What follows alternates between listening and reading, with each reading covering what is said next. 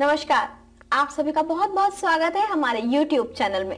चलिए आज फिर से आपके समक्ष उपस्थित हूँ एक और सटीक वशीकरण का उपाय लेकर, मंत्र लेकर। जिनको करने के बाद आप अपने जीवन को आसान बना पाते हैं, खासकर किसी को भी अपने वश में कर पाते हैं। तो चलिए आज फिर से आपको एक उपाय बताती हूँ और बताती हूँ कि कैसे उस उपाय को करना है, कैसे आप किसी को उस उपाय को करके अपने वश में कर सकते हैं। यदि आप लोगों की झूठी बातों में आ जाते हैं, हमारे सच्चे और सरल प्रयोग करें, आप उनकी बातों से भी निकल सकते हैं। और साथ ही एक चीज़ आपको बता दूँ कि ऐसे ही किसी की बातों में नहीं आना चाहिए। हमेशा जो भी करना चाहिए, सोच विचार के करना चाहिए। तो जो मैं आपको वशीकरण के उपाय बताती हूँ, बहुत ही सरल उपाय होते हैं। आप इन उपायों को करें।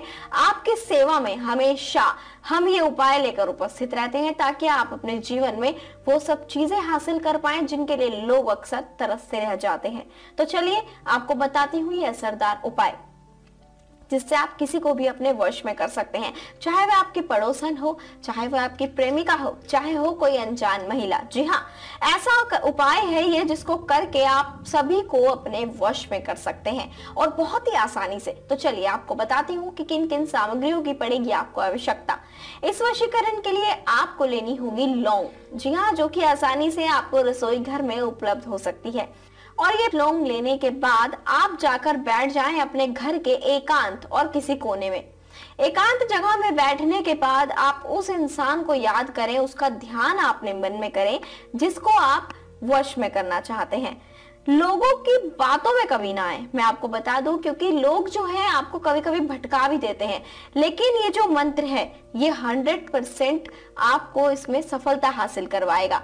आप इस उपाय को करेंगे, इस मंत्र को करेंगे तो जिसको आप चाहेंगे, उसे आसानी से वश में कर पाएँगे। तो मैं आपको बताती हूँ, कैसे आप अपनी रूठी हुई प्रेमिका को मना सकते हैं, कैसे उनको वश में कर सकते हैं।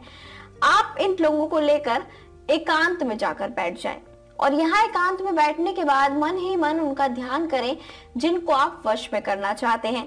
और ध्यान रखें, ये उपाय करते समय आपको कोई देख ना ले।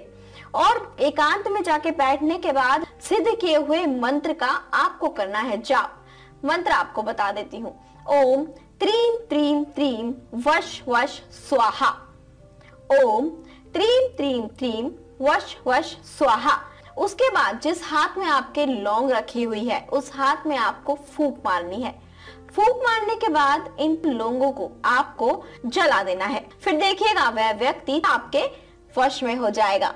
तो दोस्तों, आपके जीवन में किसी भी तरह की समस्या हो, लव मैरिज करना चाहते हो, गृह कलेश से परेशान हो, या फिर अपने प्रेमी या प्रेमिका को मनाना चाहते हो तो जो नंबर आपकी स्क्रीन पर दिखाए जा रहे हैं, आप 24 घंटे में किसी भी समय इन नंबरों पर संपर्क कर सकते हैं और जान सकते हैं कि कैसे वशीकरण आप किसी का कर सकते हैं और कौन से उपाय आपके लिए होंगे कारगर साबित। और मुझे दीजिए आज्ञा।